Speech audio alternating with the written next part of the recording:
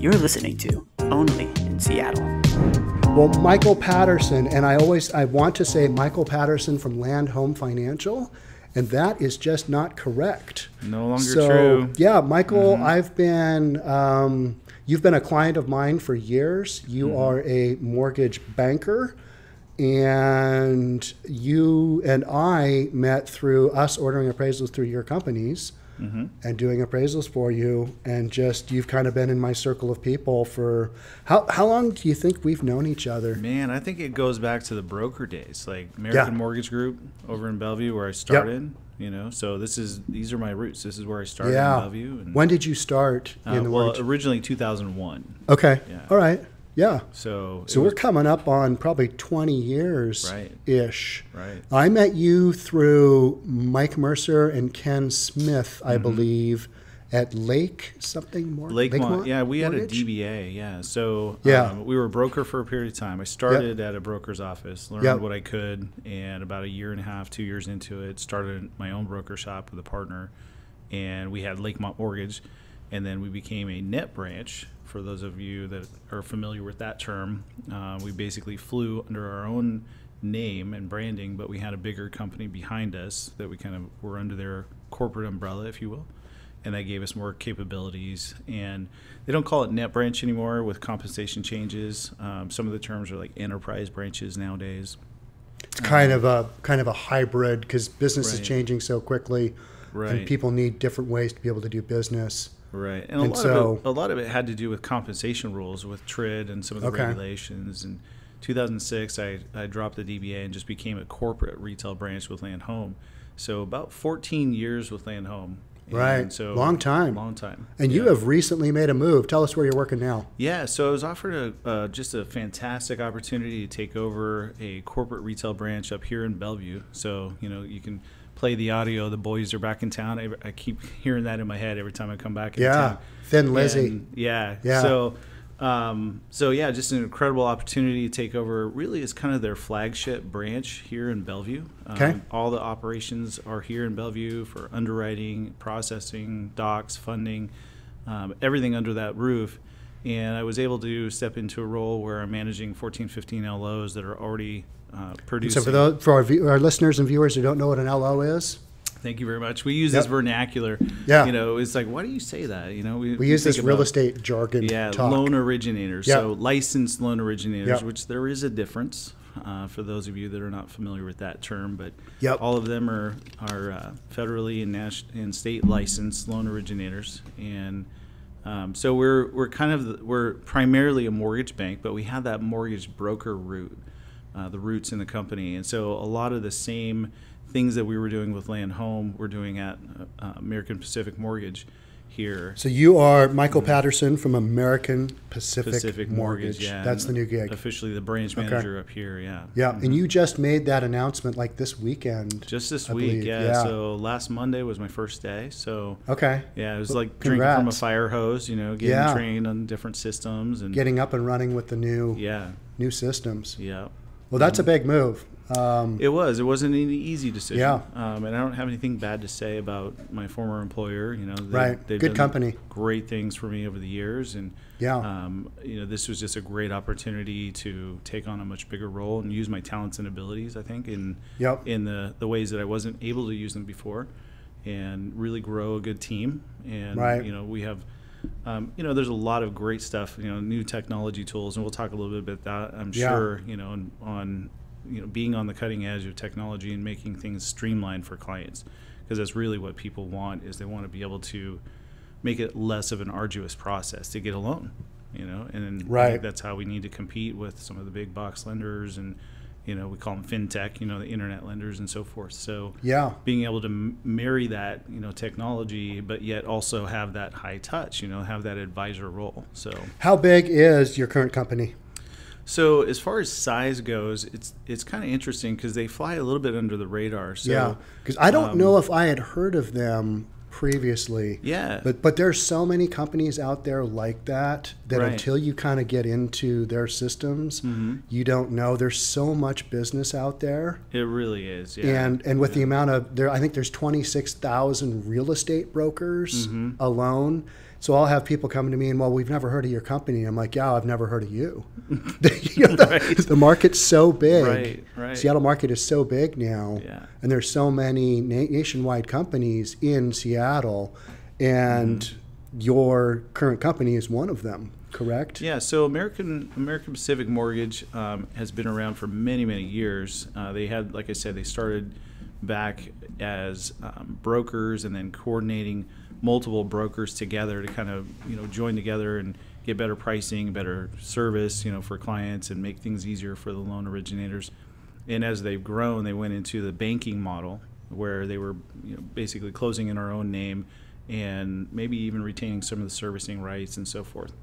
Let's back So- up. Let's talk about that. So people hear these terms thrown out Mm-hmm. mortgage broker, mortgage banker, as opposed to just a banker. These are all Right. people you would go to for a loan. Right. So, and if you guys, Nikki, Darian, Tristan, if you guys hear terms that you don't understand, yell because that means some of our listeners and viewers probably don't know those terms as, well- as well. Absolutely. Michael and I have been doing this long enough where we use terms that we think are normal, but they're not. Mm-hmm. And then we need to have people say, "Well, we don't we don't mean to make people feel dumb, but we just use these terms because it's part of our business for the last however."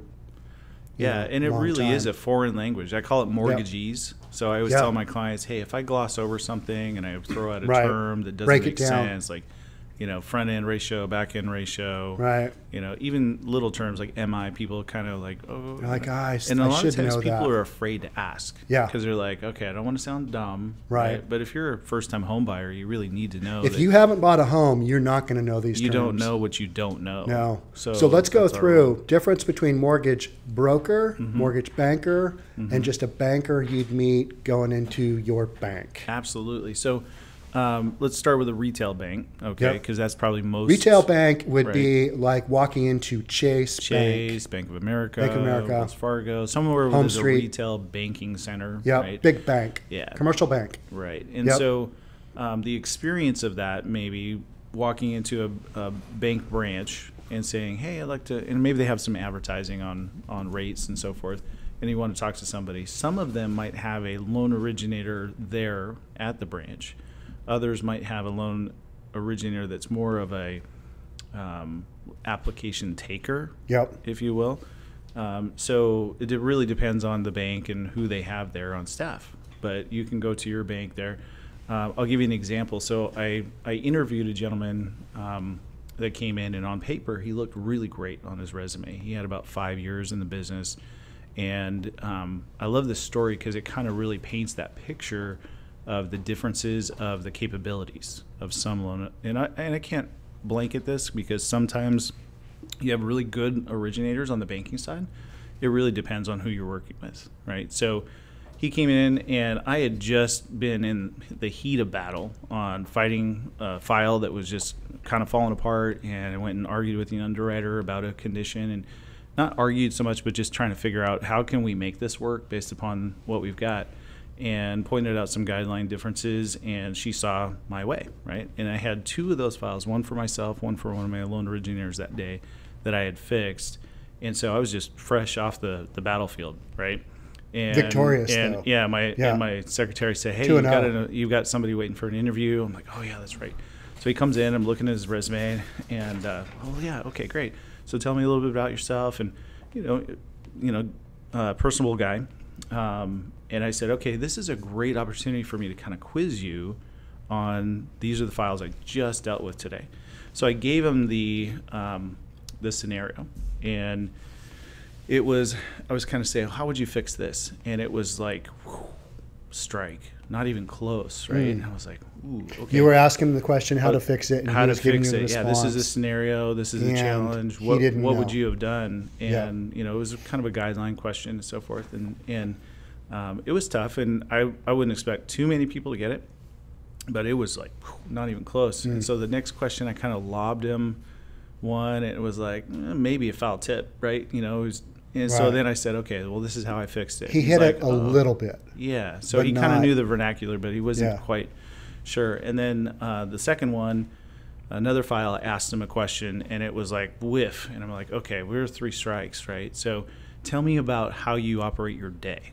And he says, okay. And it was like he got his hand caught in the cookie jar. Right. Right. And his whole demeanor changed. He's kind of slumped over. And he's he like, was- the jig's up. He was a mortgage Loan originator loan, loan at a retail bank. at a retail bank. Yeah. Yep. Okay. So the and he was is he- interviewing for He was trying to get a job with me yeah as a loan Mm-hmm. as a loan originator, originator at a mortgage broker broker. at the time. Yeah. Yep. Yep.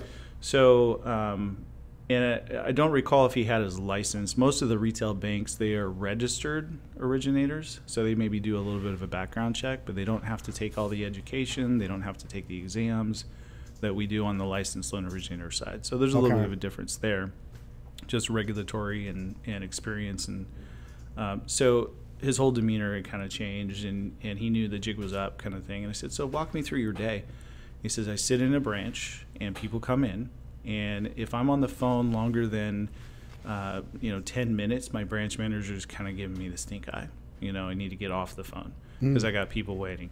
If I have somebody at my desk, 15, maybe 20 minutes, and then I'm, I'm getting this tapping my watch Time kind of thing. Hey, you need to, you need to move along It's time because we've got people. And so all of his business was coming to him, whereas our business was really self-generating. We were generating referral Go out and business. get it.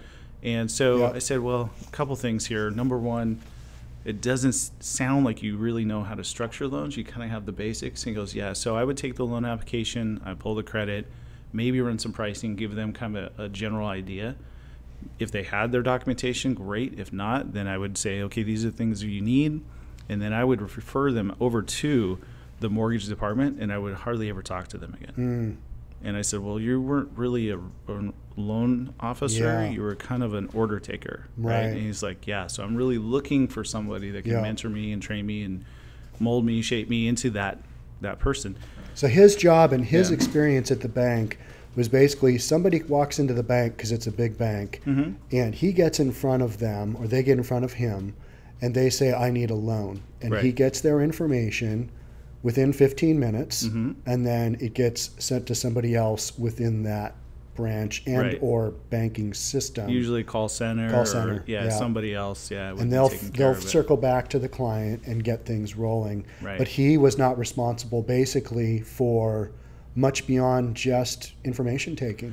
Right, and he would do like home equity lines of credit, maybe at the branch, you know, like something simple. You know, they would have their documentation sent, and they could come in and sign it, and those are fairly s- streamlined.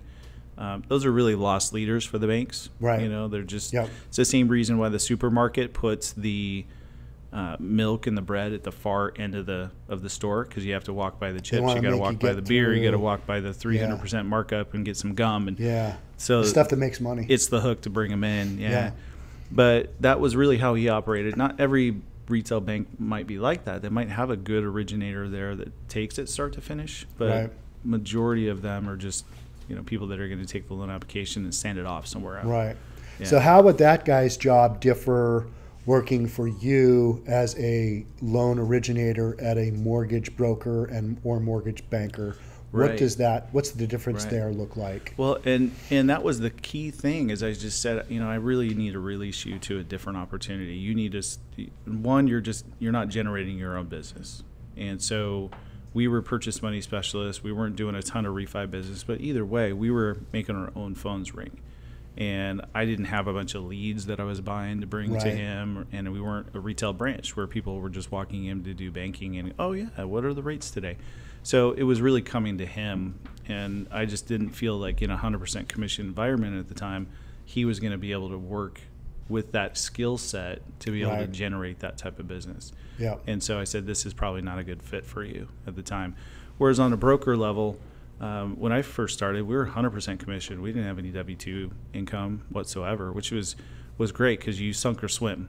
You know, you you started out and uh, Were you an jumped in independent contractor? independent contractor, 1099. Yeah, back just- in the day. Whatever you put Yeah. together, that's what you make. Exactly. And I'd, I'd owned a cell phone business before. I'd been 100% uh, commission sales before. And, um, you know, my background was in originally in television broadcasting and, you know, production. And so I got a little disillusioned by the industry and decided to go into sales and then fell into the cell phone business sales. And after that, a friend of mine invited me into the club, right? And that's kind of how we get started in the business. It's usually an invite or somebody that we know or a friend or family Right. member.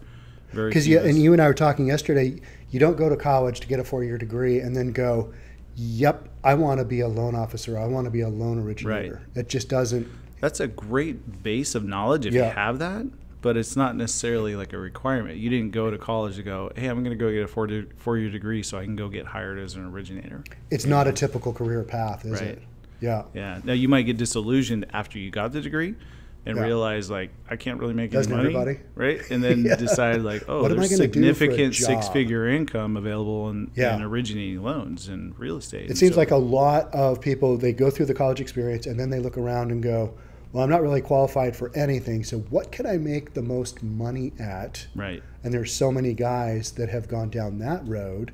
Some of them still in the industry, most of them not. Mm-hmm. And that's just kind of how it goes because people don't really get into real estate after having gone to college as their career path. Right. It just doesn't happen. Yeah, there's very few, co- uh, you know, college counselors that are Yeah. deciding, Right. hey, I want to go become a real estate agent, and Yeah. you know, because then, I mean, it's one thing if you wanted to have a high level career in mortgage banking, right? Right. And but it's a different education than typically you're going to get at the four year college. You know, you're going to have to have some additional type of training, but Yeah, and so much Um, of the training that we require is on the job training and just Right. years of experience. yeah, So you were talking about, um, oh, hey, we're going to back up. So you are the incoming president of the Washington Association of Mortgage Professionals. that's correct. Yeah. And Summit Properties Northwest was recently um, honored with getting an award. Mm-hmm. And we weren't at the award ceremony because I was doing something else. you had a better offer, I was, from what I understand. Yeah. I was turning a year older, and so I reward myself every year to go to Hawaii and celebrate that, you know, one more year around the Right, sun. right. So here, the, our listeners can't hear us or see us, but Michael is going to hand me the WAMP Award. I get to present, yeah. Yeah. So just a little bit of a background. So the Washington Association of Mortgage Professionals, we represent every licensed loan originator in the state. Okay. We also represent real estate professionals, consumers, and we're basically the state industry trade association. Okay. There's multiple associations in the state. You know, Seattle King County Association of Realtors, WCR. Um, we also have mortgage, uh, the WMBA Mortgage Bankers Association, and we work a lot with all these different associations. But WAMP was traditionally it used to be WAMB. It was Washington Association of Mortgage Brokers. After the meltdown happened, we kind of retooled everything, and we really wanted to encompass professionals. The meltdown in 08, yeah, because we're old enough where we got to there was a lot of brokers meltdown. that jumped out of Yeah. the business, Yeah, and right. a lot of them went to the retail banks or they went to mortgage, you know, banking operations, and so traditionally that that broker model. Now we've actually encompassed all the professionals, which kind of put us under a bigger umbrella, if you will, and we do lobbying on behalf of um, the mortgage industry and the consumers and we're really working this year with other associations to become one voice instead of a lot of little associations talking to our, our congressman Okay. about different bills and uh, we were really on the forefront of the Hirst decision, getting some bills passed to kind of help some of that. That's kind of another topic Okay. uh, regarding wells, you know, um, and water rates and so forth. We're looking at licensed loan originator, uh, loan, loan originators, and if you do business outside of a licensed location, DFI is looking at that, um, and a lot of it's kind of the equivalent of getting a speeding ticket when you got, you know, or getting a seatbelt ticket when you get pulled over for speeding. If you're originating outside of that, meaning quoting mm. rates or pulling credit in a home office, that's kind of hands off. Not supposed to be doing that. So we're really trying to be on the cutting edge of this and and get laws that get passed to help the consumer because that's really what it's all about. Can we make Okay. it? And so And you and you're the president. You're the incoming president. I'm the incoming president. I'm also the education chair, so I, right. I oversee all the clock hour education because loan originators that are licensed are required to take um, a number of hours before they get their test, and they have to pass their test, and then we have nine hours every year, eight federally, one in the state of Washington, that we have to take clock Of hours continuing ed. continuing ed Okay. every year to renew our license. You Okay. know, in addition to credit reports and background checks and fingerprints and the whole works, right? All that good stuff. Because let's face it, when we do a loan for people. We know everything. You've got all their financial. I know more than their parents do. Yeah, you've got their right? You've got their credit. more than their report. stockbroker. I Yeah. mean, we've got everything. You've got the whole picture. Yeah. So a lot of information. We're being entrusted with a lot of financial information. Yeah. So um, I think it's important for the consumer to know that we have those type of background checks. You know, as licensed loan originators. So Right. Yeah. So tell tell us a little bit about the award that the we won. award, yeah. So every year we do a, a gala event. It's just a big black tie event, and you know maybe next year we'll have you there as a presenter, as a as a former award That'd be winner. cool. That'd be I'd love to do awesome. that. But Yeah. yeah, I get to. It, it was uh, I was able to MC with uh, Tom MacArthur. He's one of my instructors, and he's actually president elect, so he'll be following quickly behind me. Okay. And uh, so the award is for the Business and Humanitarian Awards, where we recognize people that have just gone above and beyond um, what was normally, you know, standing apart, right, in the industry. And outstanding real estate company of the year for Summit Properties Northwest, and you were nominated for that. Yeah. And I had nothing to do with it, even Okay. though we're good friends, right? Well, who nominated us then, or Um, how does that happen? That is that's anonymous Okay. for the nominations. All right. But so people are are nominated, and then all the votes are basically put out there, right? So Yeah. people vote. So people voted, and a lot of it could be maybe what you're doing in the community, maybe your the use of technology and what you're We've doing. got a pretty big social media poll, and we put there it out you go. there. Yeah. Yeah. So, So, people vote think we're pretty great, right? So, um, and Yeah. you know, so it's not just a good old boys club where you know Okay. the board members are voting for other people, and you know, you haven't really been involved with WAMP, you know, over the Right. years too much. I have spoken. Um, I think at one, I had one of my videos viewed by the down south. It was a meeting down in Tacoma. Okay, probably Puget Sound Mortgage Lenders Maybe. Deanna Powell was down there. Deanna, yeah. Yeah, I sat at her table Mm-hmm. um, and talked about some appraisal issues, but nothing on the summit side. So Yeah. that was a neat experience to to win that award. Yeah, it's a big deal. Yeah, so no, that's pretty cool. I'm very honored to be able to present it to you today. So you know, we weren't able to do it in person, Yeah. but um, We're doing it now. We're doing it now. that's why I was excited to get you on the thing. podcast, So, you know, live on radio. Yeah, here. So better late So. Sean, I just as the the president of WAMP, okay, I just want to uh, let you know that I'm humbled and honored to be able to award you this. This is a big feather in your cap, and to your team, and it really speaks a, a lot of volume to the presence that you're putting out there in the community, and I know that you're making an impact. Excellent. Well, thank you so much, Michael. You bet. Yeah, really appreciate that. And know the guys that I introduced here, and all the uh, I think there's a hundred something summit brokers. Everybody kind of has their part, and then we've got another I think six or seven people on the uh, Reynolds and Kline side. Mm-hmm. Everybody's involved because we're we're independent. We are not part of any big corporate structure, so we're kind of Right. out there cowboying it, doing it on our own. So to get an award like that is pretty cool, and because most of our work kind of just goes unrecognized, Mm-hmm. except I guess people are seeing it because we got an award. People are paying attention. Yeah. Well, thank you so And much, that- Michael. I appreciate is that. really um, yeah, that's my core roots, man. Is is that independent guerrilla marketing? You know, Yeah. you don't spend a dollar on marketing unless you know what the ROI is going to be. because we don't have it to spend. we don't, We don't have a massive corporate It, budget. it's almost an unfair fight today, you Right. know, because we're fighting against the fintech companies. Realtors are having the same issue. You know, Sure. you guys are experiencing that. And, yeah. And um, we don't have a billion dollars in ad spend, No. right, to make the Yeah. phones ring. We might have a few hundred. Right. So um, it- Yeah. our business is built differently, you know. So Right. Hey, we're talking about um, you doing some video work. you you've got the green light possibly at your new place to do a little bit of video work. yeah, yeah. So you know, I've I've had the the broadcasting background. Yeah, the background. Um, but uh, did a little bit of video stuff, and it, it's like marketing always precedes volume by 30 60 90 days right so the marketing that you do today that's always going to help fill your pipeline as, road. as a salesperson right Yep.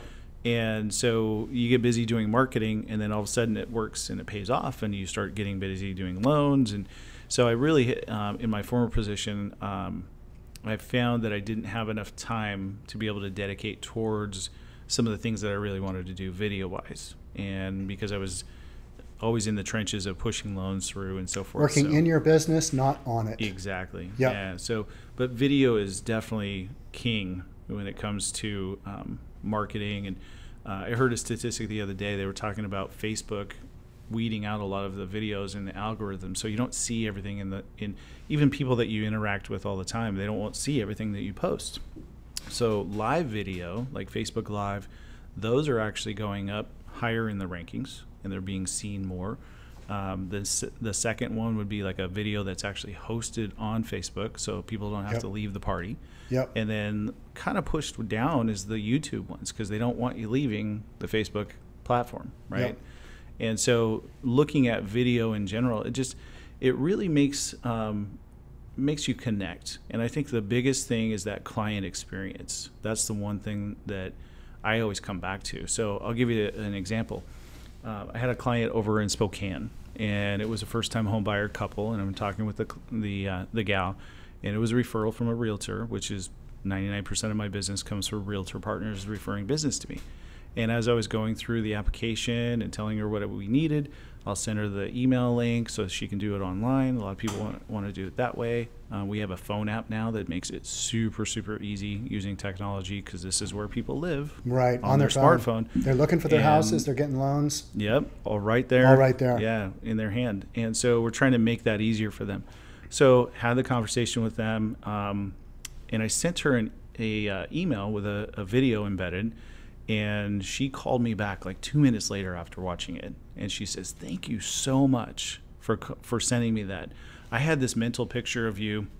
sitting over in Seattle in a high high rise office, you know, as a banker, and "Brr, brr, brr, brr, why should I give you a loan? Right, Right. yeah, And she yeah. had so much fear and anxiety. She says, "You don't know how many times I went to dial your number, but I was afraid because I just didn't know." She had this mental picture of what you should, what she thought you looked like.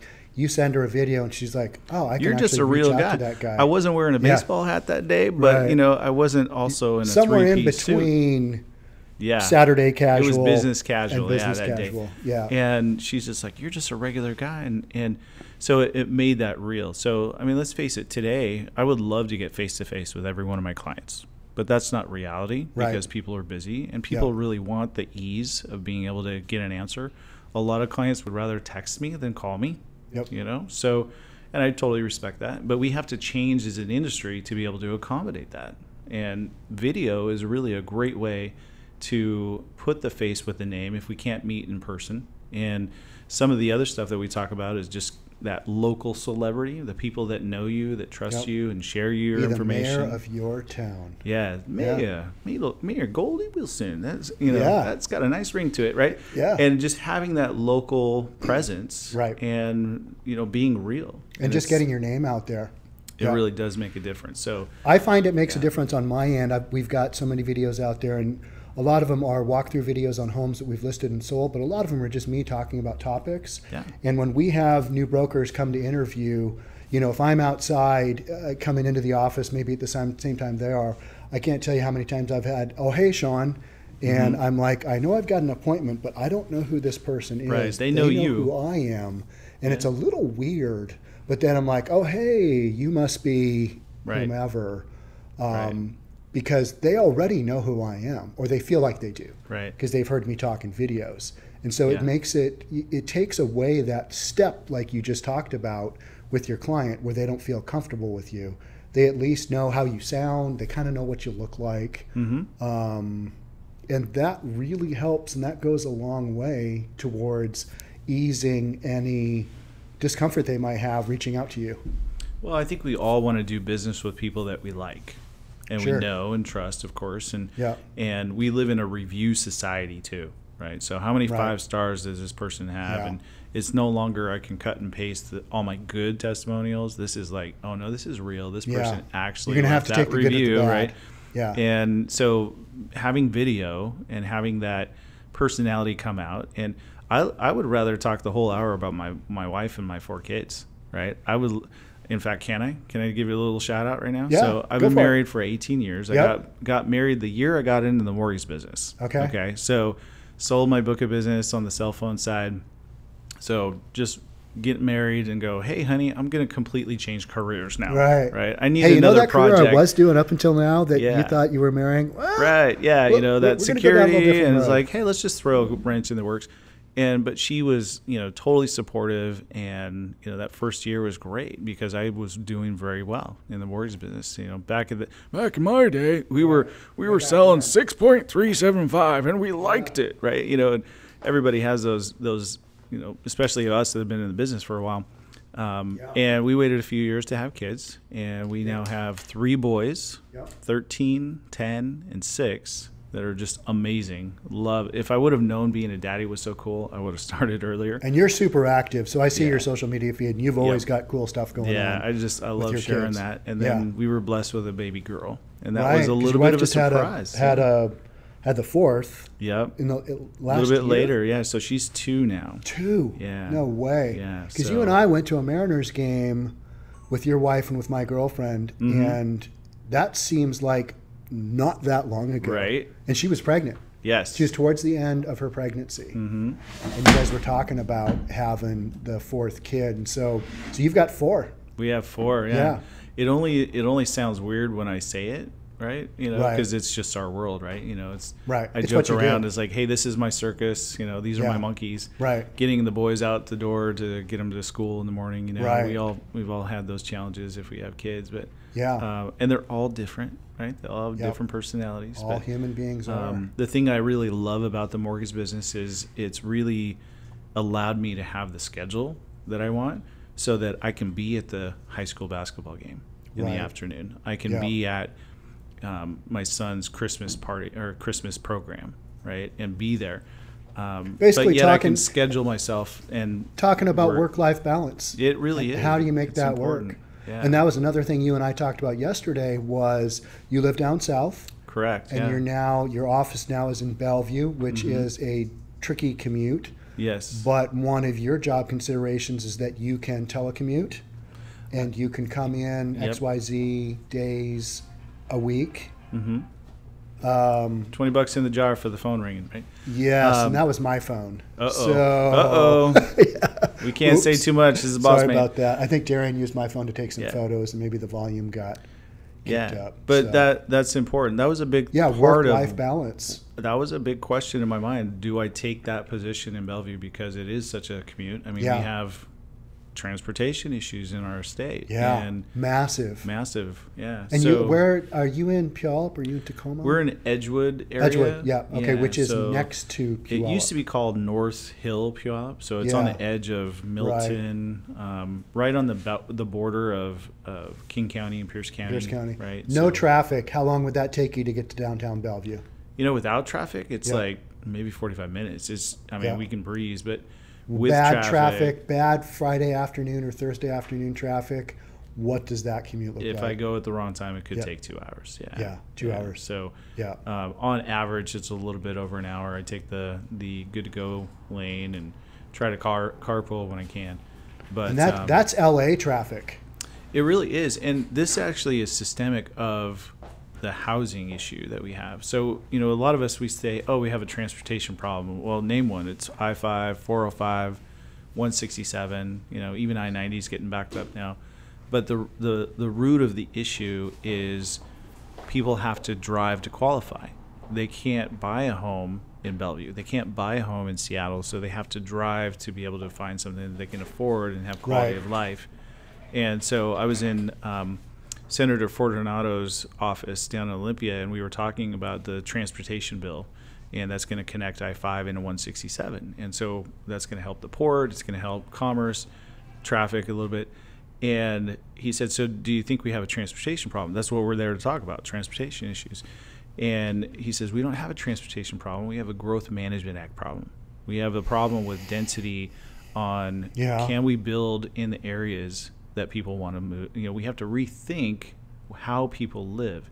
We've got on the east side how many empty bedrooms that people are not living in those bedrooms because people, you know, you have empty nesters and Right. they don't want to sell yet. Investors with vacant homes. They don't want to change the the Yeah. neighborhoods, um, you know, the feel. Um, we were at a, a recent um, affordable housing summit down in Seattle, and the deputy mayor of, of Bellevue was there, and she was talking about this that a lot of people don't want to change their their their culture or their their feel in their neighborhood neighborhood right so whatever that means right to them i don't want to change my neighborhood But then finally, when one sells, that house gets torn out and they put up a 5,000 square foot house, and now the neighborhood has changed, right? Right. The feel has changed. Yeah. So how do we And there's that growth pattern going on everywhere. everywhere? Yeah, and it's not a it's not a one answer kind of a thing, a one solution. It's it's a mul- multitude. Like how do we create more first time home buyer opportunities? How do we Right. create more down payment assistance programs? Right. when we've got, um, you know, for lack of a better term, a lot of it's monopolized. We only have a few programs here in the state where other Right. states have multiple op- opportunities for down payment assistance and community second mortgages and so forth. So, um, And I think so much of this is is because of our tech environment. We've we've changed pretty dramatically over the last 20 years. Wild changes. And so all the people that need to all the people that commute, I mean, we are selling homes in Olympia on the summit side and people are commuting into downtown Seattle. And that is not blows uncommon. my mind. Blows my mind. Yeah. Olympia to Yeah. Seattle. Or we've got people commuting in from Bellingham to Redmond, Mm-hmm. Right. Bellingham to Bellevue. Not uncommon. Those are some big commutes. See, I used to freak out when I, people tell me, "Oh, I live in Cle Elum and I'm commuting over, you know, Yeah. to Bellevue." That's actually seems like a, a breeze of a drive compared to With I ninety being open the way it is, Mm-hmm. that's not a bad commute. I mean, that's But- a lot shorter. But what does that say about the affordability, right? So everybody says, Yeah. "Oh, are we going to have another bubble?" And I think the only thing that we, and I would certainly ask your opinion in real estate, is we're running up to the affordability bubble, Right. People Homes can are- no longer fo- afford. right? the average person can no longer afford. And that's one of my questions for you is do you think the Seattle market will have a slowdown like a lot of people are predicting? Mm-hmm. And and I'll give you my answer because you just kind of lobbed that out there, but I think further out, yeah, we could have some slowdown, but close in, you've got too many jobs coming into this area. Yeah, Facebook is literally nine blocks down the road from our office here, Mm-hmm. bringing in 5,000 employees right. you know, they each have a family. That's 10,000, that's maybe 20,000 people. Where are those folks going to go? That's the challenge. Yeah. So Yeah. all the jobs, you know, Facebook, Amazon, Microsoft. You start naming all the tech firms Yeah. and all of the all the feeder companies that also are And then all the financial companies like yours, like American Pacific Mortgage Mm-hmm. in downtown Bellevue, in Redmond, Microsoft in Redmond, Right. and then South Lake Union just basically dominated by Amazon. Mm-hmm. I Absolutely. mean, these are monster, monster companies, and Amazon in downtown Bellevue. mm-hmm. I mean, And the and the challenge that as Deputy Mayor was talking about was um, they don't want it in their backyard. We don't want high density housing in our backyard. We don't want to change the feel. no.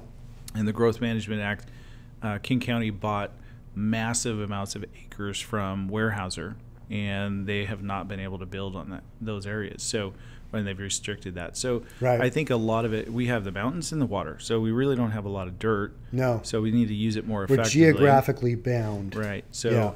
You know, we just kind of need to rethink the way that we Yeah. live and operate. And light rail, as light rail comes through, we should probably have higher density housing around the light rail stations so that people Right. can say, "Hey, I want more quality of life with time. I'm okay living in a smaller unit and being able to just jump on the train."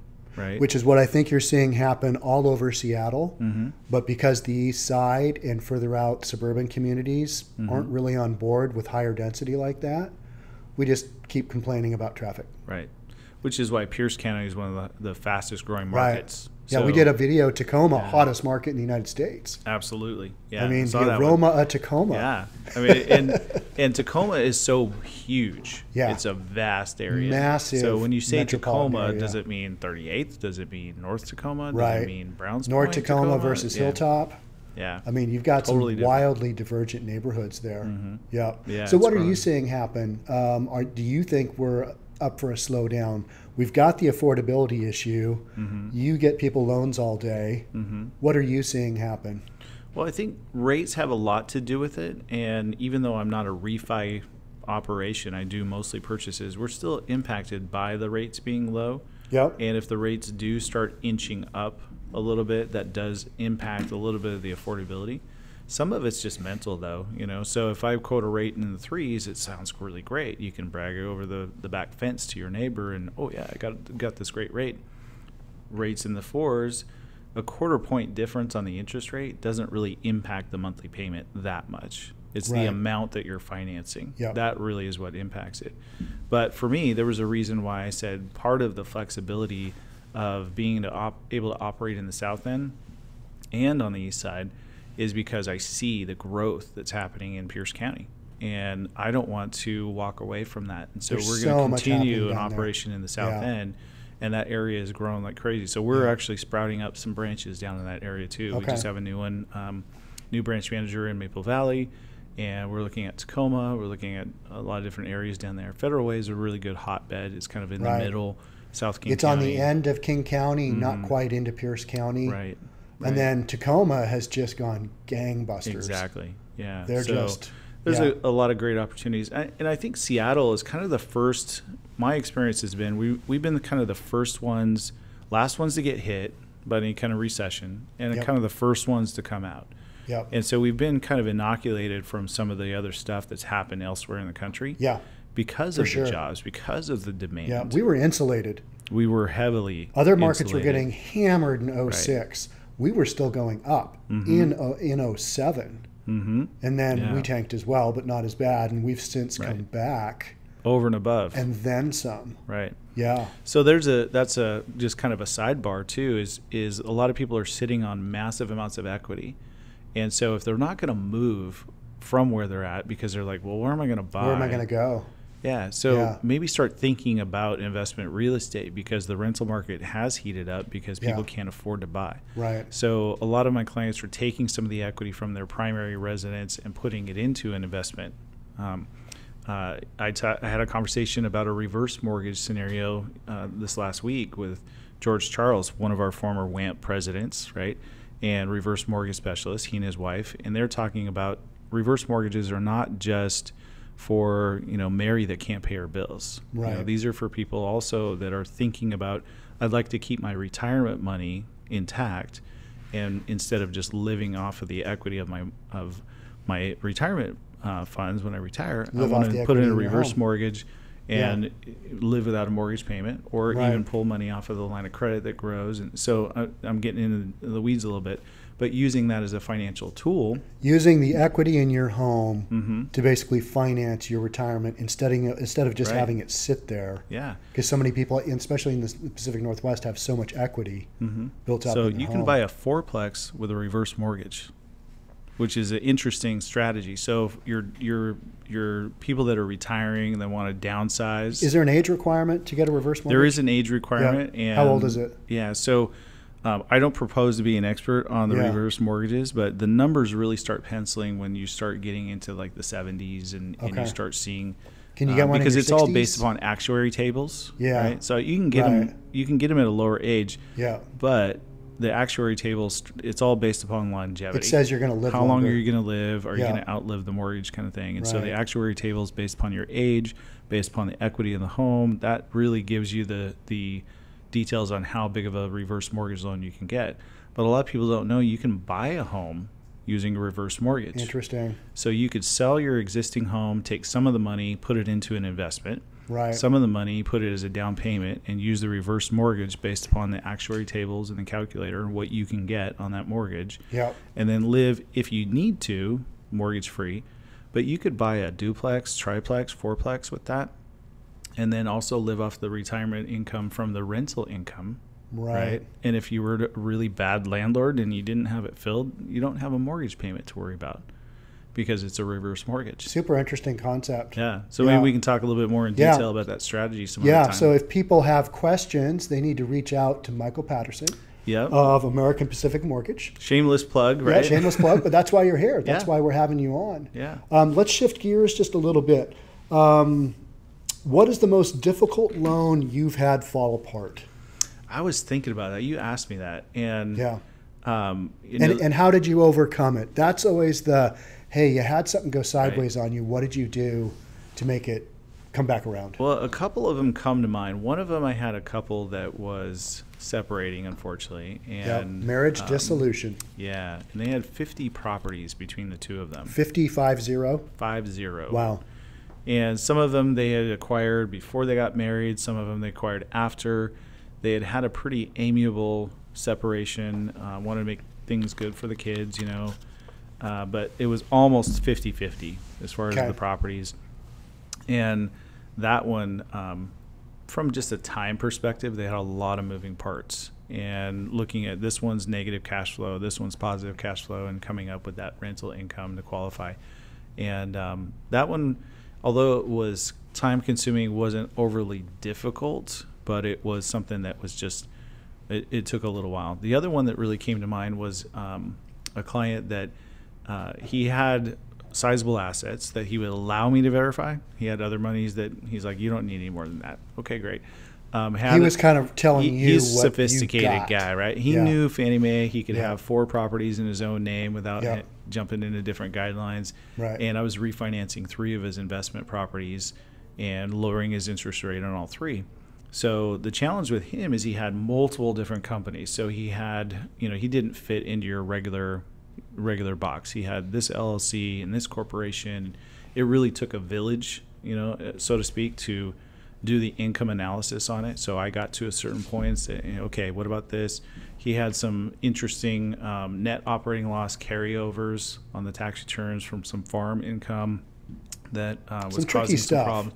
Very tricky. Yeah, yeah. from lending So, perspective. um, so on one hand, we we did those three loans for him, um, and that was just all hands on deck. And we had really good underwriting staff that really helped out, you know, to do that. So my point on those is if you just fit within a box and you can fill out an online application and it'll spit out an approval because you're W two and you know you make a certain income and you have 800 like you would score. do with an online lender. Right. Yeah. Yeah. So if you fit within that, then that's great. But if you don't, if you're self-employed or you have a lot of moving parts, Yep. it, it takes a little bit more of an advisor role to really put those together and structure those. Um, we had actually talked to his his accountant and wait for another business return to get filed so we can get a K1 because it was it was a paper loss on one of his K1s that was throwing everything off. And so we had to kind of delay that and that was our Wait for another cycle of taxes and returns to go through. Yeah. So now that same client, um, he had another loan on a it was a hard money loan on an investment property that he had been holding on to, and he wanted to cash that off, pull some equity out, and take advantage of another opportunity. And so we're looking at that, going, "Oh goodness, here we go again!" Right? You remember it took us quite a bit of time to do that. So I actually opted for, um, and this is one of those mortgagees non-QM loan. Okay, so a non-QM loan is a qualified mortgage, non-qualified mortgage. So uh, the TRID and the Frank Dodd Act basically put in some requirements so every loan is really full doc, right? We, you know, we have to have tax returns, W two, pay stubs. All the paperwork. we have to be able to to document that the borrower has the ability to repay because a lot of the problems that we ran into before were stated income where you had somebody that, oh well how much do I need to make to qualify well you need to make this well I make that okay great and then put it down and Put it down. and congratulations you just bought a house that you had no business buying Right. right The good old days. the good old days, right? Yeah. And we didn't do a whole lot of that, but that was prevalent at the time. And And so that was basically a stated loan. You state your income, This- you get the loan. So with the requirements now, even even some of these non-QM loans, you still have to document that the borrower has the ability to pay. Okay, so we have a program where you don't have to get tax returns. So we didn't have to go down that road. We just looked at will the property cash flow based upon 90% of the market rents on the property. And then he had to show at least six months payments of reserves for the property, subject property as well. So it was really an asset reserve loan and almost like a commercial loan because we're looking at will it debt debt service itself. And so instead of having this huge, huge underwriting, um, you know, all these different documents and taking all the time, it was much more streamlined because we just get the appraisal, get a market rent analysis on the appraisal, operating schedule, and will it cash flow based upon the interest rate. And it's an adjustable rate mortgage, had a three year prepayment penalty on it. You know, so it was something that he knew was going to be in place for a period of time. But that was a much easier way to go than have to wait for all of this other stuff for underwriting and jump Mm, okay. through all these hoops. Different angle for a different borrower. Same not- borrower, different scenario. Not everybody fits in Right. the same box. Yeah, And the same borrower can have wildly different criteria for a different loan. right. And it was all about the goal and, and what he wanted to accomplish. So right. And we were talking so- a little bit about why you might not want to use an online lender. And you were Mm-hmm. kind of breaking that out for me. Maybe you can walk the listeners through and the viewers through. Yeah. Well, and that's the that's really what we were talking about before is that what is the experience Right. with the client. Yep. And I actually was testing it out when Zillow started putting more retail mortgages online and so forth and I went on and applied for a loan just to get some rate quotes and immediately my phone was blowing up. Yep. Right. And I must have I got You became a got lead. like 15 different calls and I just yeah. I finally just set my phone down and watched it ring and let everybody go to voicemail and um, so and that was great because I got my answer quickly but when I did answer and talk to them my answers were wildly different between you know because I threw out some scenarios to them and then a couple weeks later all of a sudden I was back on the hot sheet and boom boom boom my phone was kind of lit up and everything and what I've noticed from looking at competing lenders, you know, for my clients, they say, well, I got this quote over here. I say, okay, well, send it over to me.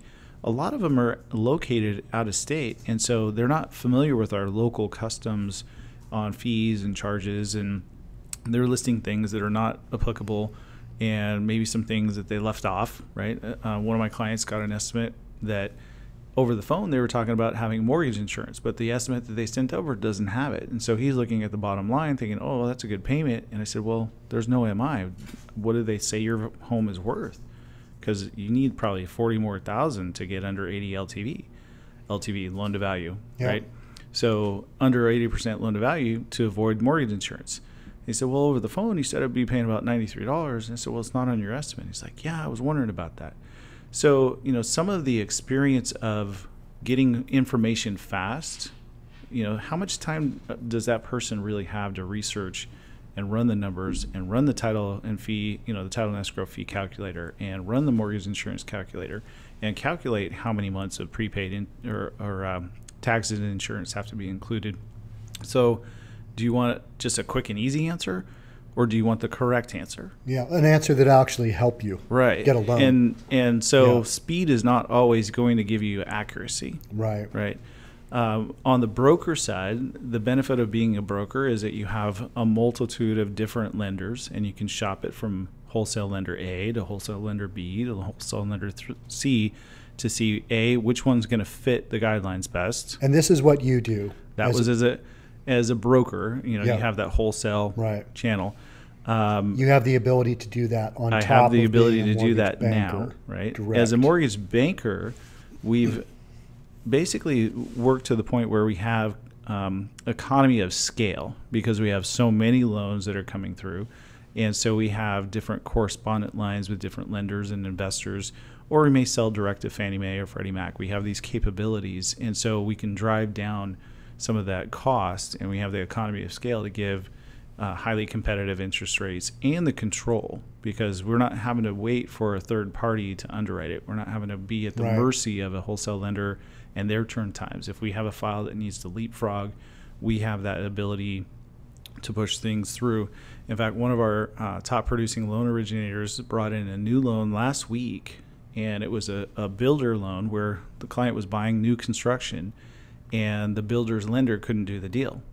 But they had their earnest money on the line, and they really Mm. had to close. They're in the hot seat. All of a sudden, it blew up, Yeah. and they don't want to lose the house. And the builder's like, "I got somebody else, you know, I can sell this to." And so that scenario was that was crunch time for that client. And so he brought it in, structured it, brought it into underwriting. We actually got that thing approved, ordered a new appraisal, got that done um, really quickly on a rush. And those are things that are not going to happen with an online lender. Right. 'Cause they You don't have that capability. They don't have that kind of control. Yeah. So we're we actually just got that approved, docked out on Friday. We're going to close that within seven days. Super quick. It's a Yeah. uh, yeah it's Yeah. amazing, right? For a, a, an operation of this Right. size to be able to be that nimble, right? So if you need a quick, a quick uh, loan closing, Michael Patterson. Mm-hmm. yeah, we don't want to do that on, on a daily basis, but um, most people can't even pack their boxes in seven days, right? No. That's But- one thing with real estate is that it's not meant to be a 24 hour process because people Right. need a little bit longer to contemplate. And it used to be 30 days was super fast. Right. Now we're down to like maybe 10 on cleaner files. If you have to put a big full court press on them, maybe it's two weeks, 10 days. I don't know. Mm-hmm. couple weeks is couple yeah, weeks. if you Yeah. have and you know again if you know what you want a lot of the decisions really come back to working with an advisor and that's a are you going to get that from a 10 minute conversation at a bank are you going to get Right. that from a 10 minute conversation with this call is being recorded for quality assurance no it's being recorded because John is the licensed loan originator quoting you the rate. Right. Right. Okay, we're done You here. gotta Let get me get right you back over to. Sarah, and she'll take care of you. And Yeah. you never talk to the guy again.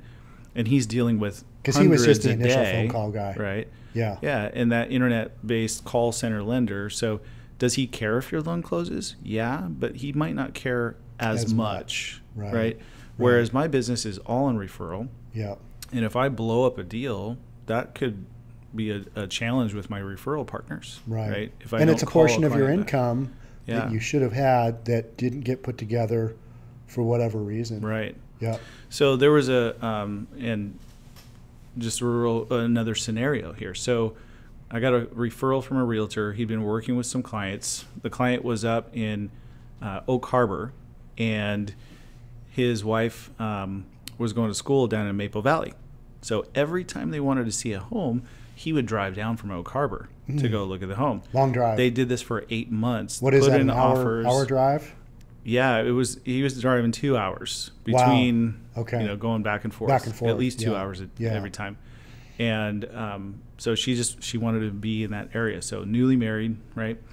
And they've been working with an internet call center lender. Okay. And if I told you the name, you everybody would know. Right. And he was military, right? Yep. So and they have a tendency to specialize in military loans, VA VA, loans. So he f- kind of felt okay. They Yeah. they should know. So they applied eight months of putting an offer, not getting accepted, putting an offer, not getting accepted. It was a really hot market in the area. They couldn't find in their price range. And As soon as one would pop up, it just like scooped up. So they finally get under contract and they go back to the lender and they say, okay, well, great, send us over all your documentation. They hadn't looked at anything. They didn't look at the W 2s, they didn't Mm. look at the pay stubs. You They hadn't just said, this is how much we make. Okay, great. Yeah. We ran the numbers. Yeah, you can afford that. Credit looks great. You know, they did look at credit. Um, so as it turns out, the wife had been working part time, and she had just recently changed jobs. So sent it over, and they said, "Oh," they called him back. Oh, your wife's working part time. She hasn't been on the job for two years. We can't use her income. So I'm Mm. sorry, you can't you can't buy this house. Right. Eight months, Mm. and they finally find the house and get it under contract. Brutal. right? So had they taken a little bit of time, they would have been a bit- a- be able to ex- and looked at the file. They would have been able to explore, Right. explain to the borrower, This is a challenge. this is a, right? this is going to be hard. Yeah, don't Yeah. change jobs before you, Right. you know, switch gears. The other part, the other thing that happened was um, he was military, and he was exiting the military within a year, and we can't use the income if they're going to get out of the military within the next twelve months Mm. after you know the, the first mortgage payment on the loan. So, um, and it's as interesting. So a number of challenges. number of challenges that Yeah. could have been avoided had we gotten more involved, you know. And so um, I actually stepped in to fix it, but then found out he was exiting the military. Right. And so the good thing is I developed that relationship. They came back to me after she graduated from school, and then we were able to use her career income right out of college. Okay. And use that income to qualify, and so about six months later, they ended up buying a house. They were able to get a place. Yeah. Yeah. So, but it was Yeah. a little bit of guidance to get there. So. Right. And they were Yeah. probably really disappointed when they realized we're not going to be able to get our dream home Right. that we've been looking at so hard. It was so tough. Yeah. And that's why you go with somebody that is experienced and that you've got from referral Mhm. that they can get the loan closed Right. or if they're a real estate broker that they can get the deal done for you. Right. Yep. And it really is about that experience with the client. So, are they getting accurate information that they can count on? We do a full underwriting approval many times. So, they're fully approved in underwriting. So, Yep. we can call the listing agent and say, When do you want to close? All we need is clear title, satisfactory appraisal, and let's go to docs. So, that's almost as good as a cash deal. And the sellers don't have to take a cash offer and lower their price. Right. They don't have to discount it. Yeah, can So just take it. having the capability as a as a mortgage bank operation to Right. do that. So Yep. and it's really all because of our team. We've got an amazing staff, amazing uh, um, underwriters, processors, loan assistants, And they're all in your Bellevue office, all which Bellevue. is a Mhm. really big deal Yeah. for people outside of the lending industry because you don't have to wait to hear from somebody in the Midwest right. who might be done for their day with their business day or somebody on the. Mm-hmm. East Coast to make an underwriting decision. You don't have to wait till tomorrow. You can just walk down the hall and say, hey, I need a read on this yeah. and get information. And for a mortgage bank to be ranked in the top 11, 10 to 12, I think we're ranked 12th right now, depending upon Okay. who you talk to, to be that nimble is amazing, which is one of the Yeah. biggest things. And I'm looking forward to working with you. I'd like to get Mm-hmm. uh, Reynolds and Kline on if you guys have a panel, an appraisal panel or an AMC. always already in my thoughts. Yeah, okay, yeah, I'll hit you up on absolutely. that. Yeah. Let's go through. We are at towards the end here. I want to go through a couple of fun questions. Mm-hmm. Michael, your favorite band from the 1980s? I knew this was coming. 1980s. This- 80s and 90s. It's Yeah. like there were so many good ones. So I Yeah. always joke around like. Let's in start with the 80s. In the 80s, um, so I was in high school. Okay, Yeah, here's so dating was I. myself. What year did you So, graduate? 87. Ah, me too. Yeah. Yeah, so, it's you know, the exact same age. I was Yeah. like big in the in the 80s metal band Yeah. scene, right? You know, and and I was hitting all kinds of concerts and so forth. And my little brother, I always joke around. He's about seven years younger than me, and he was watching Ghostbusters and wearing his Michael Jackson T-shirt, right? You know, As you did, if you're that right? age then. Yeah, and my sister, she was like into the Duran Duran and the Depeche Modes and Yeah. you know all of those. So like secretly, I like okay, I like Adam Ant. He's cool. You know, Mm-hmm. you know, uh, okay, some of the Duran Duran stuff and. My girlfriend was into Bon Jovi, and I'm Oh, like, yeah. "Mm, yeah, okay, Yeah. I'll go to the concert with you. So She might still be into Bon Jovi. she might still Who be. knows? He's he's a pretty handsome cat, He right? is. So he's kind Yeah. of dreamy. But um, you know, so that the '80s rock scene, um, I was kind of into that uh, Yeah. metal band type stuff. Yeah. But one of the very first ones that kind of introduced me to that was Def Leppard, Yep. and I just I really really loved- Pyromania came out when you and I were in eighth grade, Yeah. and that was a monster album. Right. That was a big one. Um, yeah.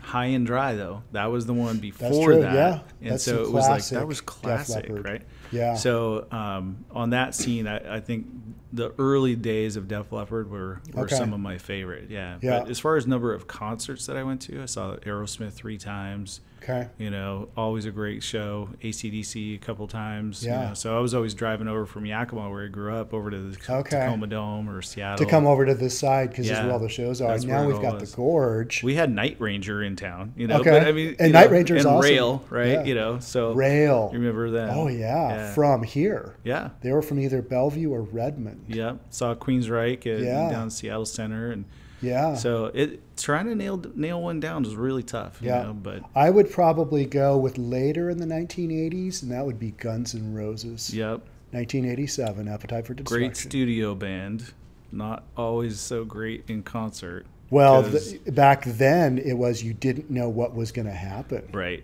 Anything could happen. Yeah, Axl Rose walked Axl off could do- stage. yeah. he was drunker than a, he was drunk as a He's skunk. high.